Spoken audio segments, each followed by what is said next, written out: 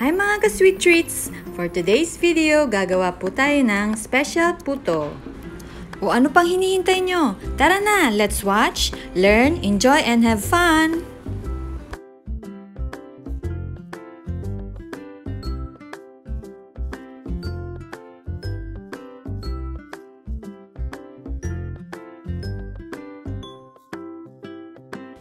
Kailangan po natin ng 4 cups sifted all-purpose flour, 2 cups sugar, and 2 and 1 2 tablespoon of baking powder. Haluin po natin maigi ang dry ingredients.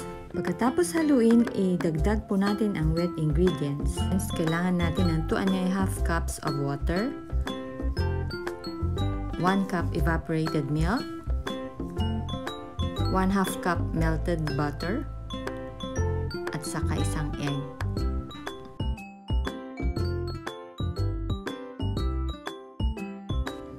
At kagaya po ng ating ibang recipes, salain po natin ang mixture.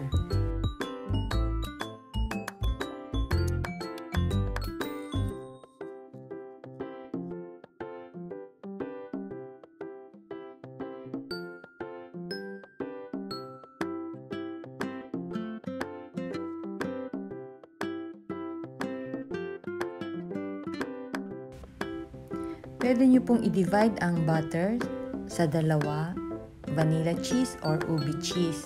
So in this case, kalahati ay vanilla cheese at kalahati naman ay ubi cheese.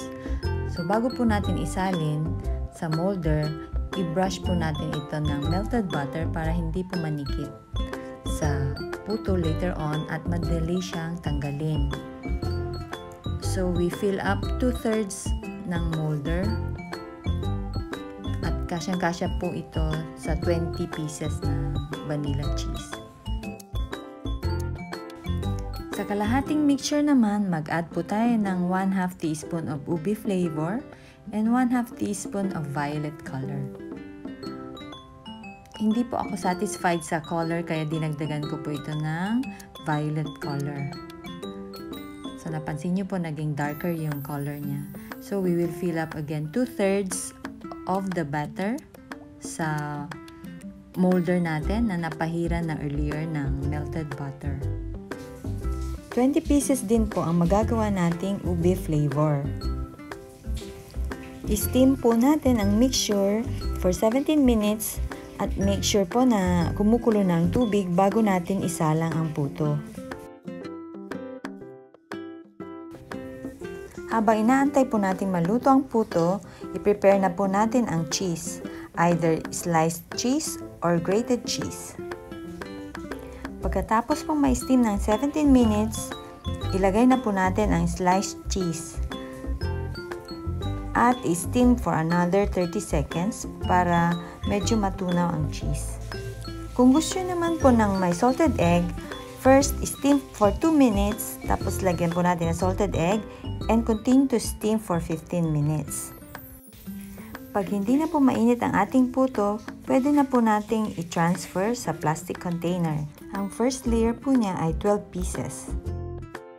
At gagamit po tayo ng doilies para hindi po dumikit ang upper layer ng puto.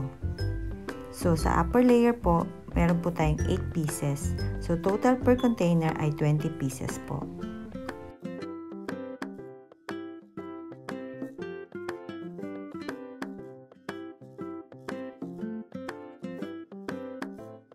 Ito na po ang ating finished product, Special Puto.